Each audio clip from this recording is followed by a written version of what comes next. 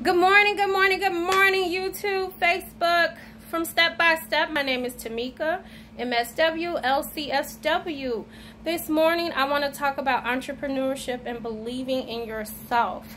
Um, there are so many people who have so many gifts, and we hold back because of fear, doubt, um, self-hate talk, or listening to other people or waiting for the right time. There is no right time. The time is now.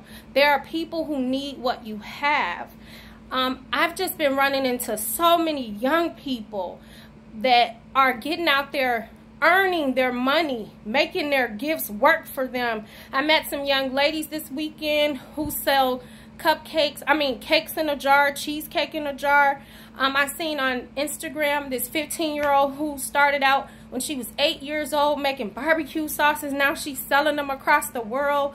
I have a 22 year old goddaughter who has a clothing line. Shout out to Bread Time. There are so many gifts we have within us, but fear, doubt, and self-hate talk will always get in the way you have to get over all of that and just go for it.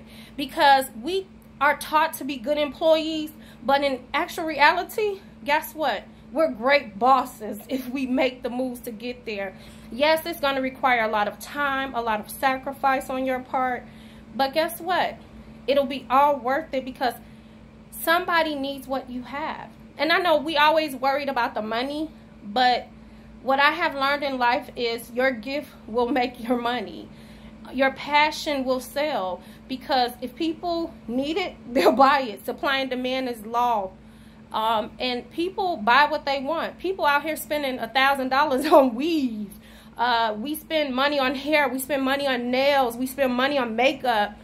Um, people will buy what they want, and people want what you have. So go sell it. The time is now.